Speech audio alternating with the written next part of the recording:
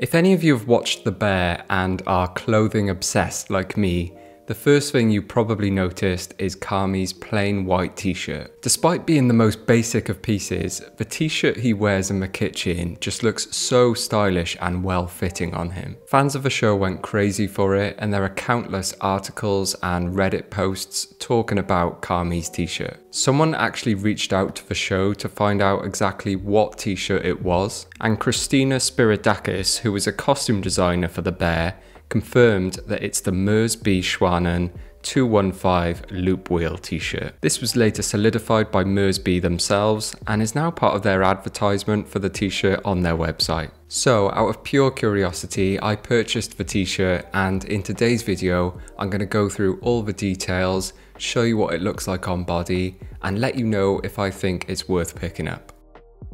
The first thing you need to know is that this is a genuine loop wheel t-shirt. Loop wheeling is done on 100 year old machines that knit in a circle, stacking layer upon layer of cotton into a giant cylinder. That cylinder becomes the body of the t-shirt, so manufacturers need different machines to produce fabric for each size of t-shirt. The machines are also incredibly slow. Most of them can perform only 24 rotations per minute, which adds up to around 1 meter of fabric per hour. However, this slow pace means that the machines place no tension on the cotton yarns as they knit, which creates a softer and denser fabric than regular t-shirts. Now according to people who know a lot more about fabric than I do, the benefits of this type of loop wheel construction are as follows. Loop wheel t-shirts hold their form, unlike regular t-shirts that can become misshapen after a few washes. They fit the body more naturally thanks to the tubular construction, which follows the contours of the body better. They're very durable because higher quality materials are generally used,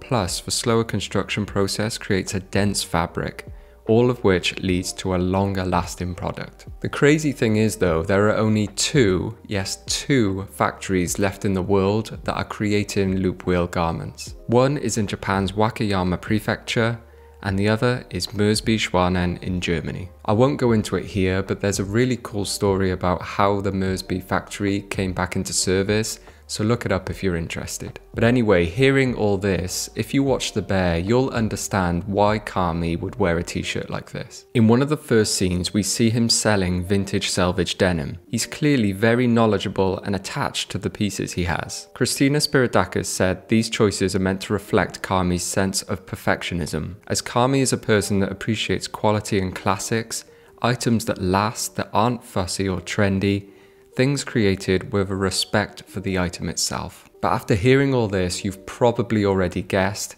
these t-shirts do not come cheap. They retail for around £70 in the UK and I believe around $100 in the US.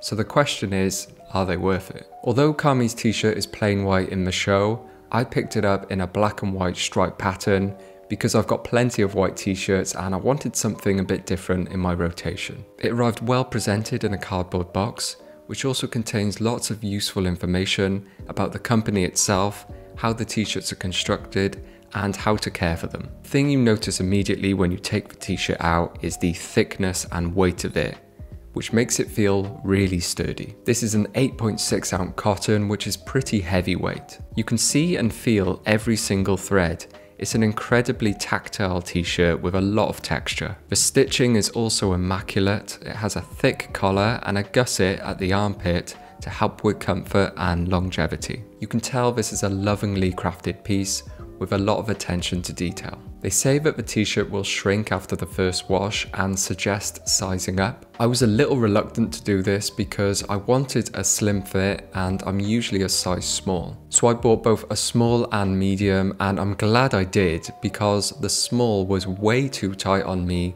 even before it had been washed. So I kept the medium and here's what it looked like before being washed. For reference, I'm 5 foot 10, around 140 pounds. It was a little loose around the arms and chest, as I expected. My main concern though was the length. If you look at all the photos online, as well as on Carmy in the show, it seems cropped in length, but accounting for shrinkage, I was confident it would fit me well. So after wearing it for a full day, I washed it at 20 degrees and left it to air dry in the sun. And this is what it looked like after the first wash. Definitely shrank and I could immediately feel it was tighter around the chest and arms, which made me happy. This also confirmed that a small would have been way too tight on me after washing. I took before and after measurements of the shoulder to hem length, pit to pit width, sleeve length, sleeve width, and collar width. I put them all in a table and I'll leave this up as I continue to talk. The biggest shrinkage was in the shoulder to hem length and pit to pit width of about half an inch. I'm happy with the tightness of it now,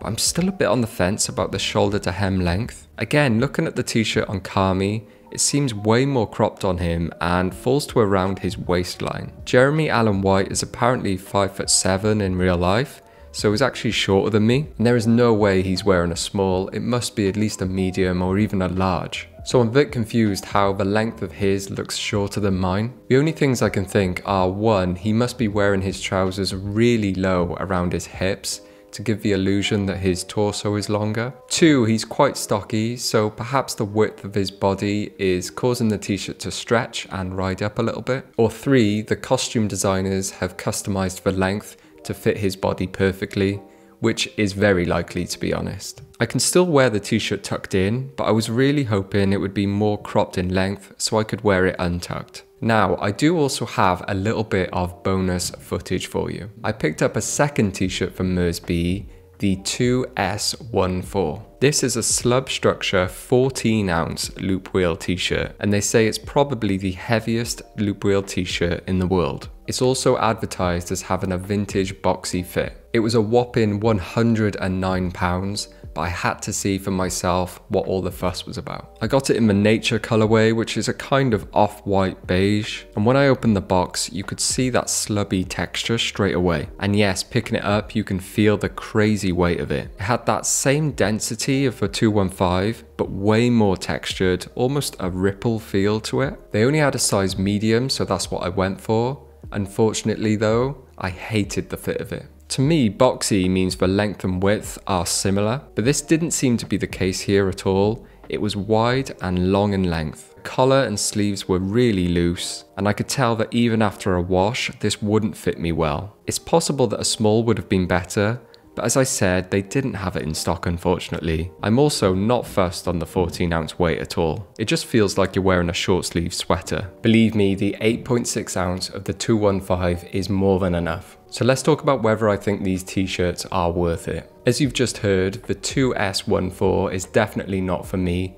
the fit doesn't look good and the weight is not practical in my opinion. It's definitely high quality and well made, but with the heavy price tag of £109, I'm avoiding this one. However, the main piece of this video, Carmy's 215 t-shirt, is a different story. It's without a doubt the highest quality t-shirt I've ever owned. The construction is on another level compared to my regular t-shirts and the cotton is just so thick and sturdy. I'm obviously disappointed it didn't shrink as much as they said it would, which was about 1 to 2 inches. It might continue to shrink after another wash or two, but I really don't want to force it. So at £70, I'd say this is about the most I'd ever want to spend on a plain t-shirt, but I do think this one is worth it. Compared to other loop wheel t-shirts, this one from Merz B is actually on the cheaper side. And when you consider the heritage, complexity and rarity of the loop wheel t-shirt, kind of feels like you're purchasing a piece of history. Some of the loop wheel machines are over 100 years old now, and as far as I'm aware, they're not making new ones. They're not going to last forever, so once they stop working, you might not be able to get these exact t-shirts ever again. There are modern tubular knit t-shirts that try to replicate the loop wheel design, but they'll never be the same. Taking all of this into consideration, and if it lasts as long as people say, then my price per wear is going to be minimal and it's going to be well worth it. But that's just my opinion. I'd love to know if any of you own these t-shirts and what you think about them. Anyway, thank you very much for watching and I'll see you next time. ta